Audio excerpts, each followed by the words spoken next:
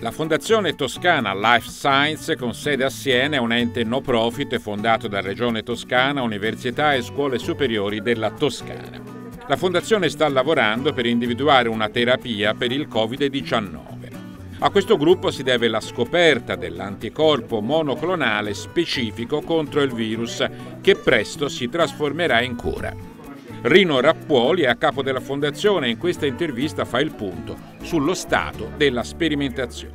Nello sviluppo del nostro anticorpo monoclonale contro il Covid eh, abbiamo eh, concluso da poco la fase 1 eh, che eh, doveva eh, dimostrare in volontari sani che l'anticorpo è sicuro, eh, viene dato per iniezione, si dà la concentrazione giusta nel sangue e che dà una concentrazione di anticorpi che sia uguale o superiore a quella indotta vaccina, dai vaccini più efficaci.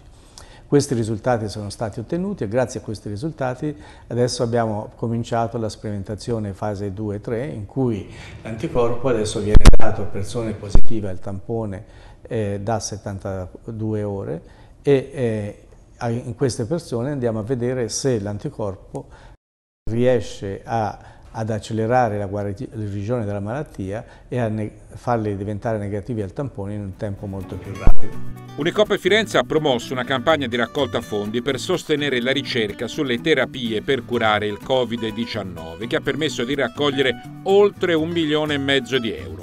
COP ha raddoppiato ogni contributo donato.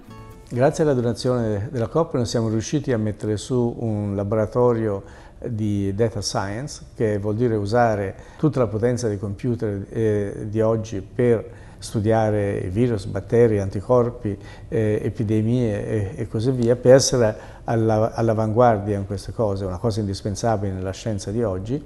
Abbiamo già reclutato la persona che guiderà questo gruppo e adesso lui sta reclutando il resto del team.